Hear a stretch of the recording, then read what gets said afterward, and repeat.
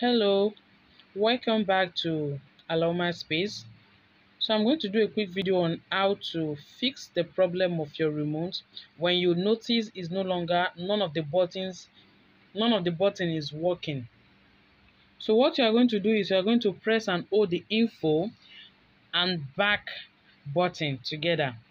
And I'm not doing this because I'm using my other hand to hold my phone so like this press and hold the info and back button together. So once you press and hold it together you are going to see a red light here.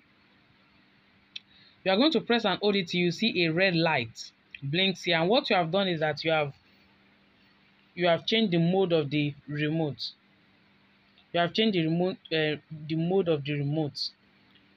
So but please before that make sure your battery is in good shape this is a new battery and I know my battery is in a good shape. It's a new battery. So what I did was um after I checked the battery the battery is in order is okay. So the next thing is you press and hold the info and back button for about five to six seconds.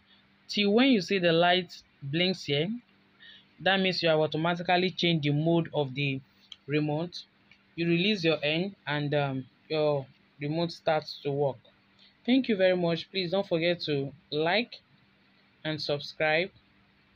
Thank you very much. Bye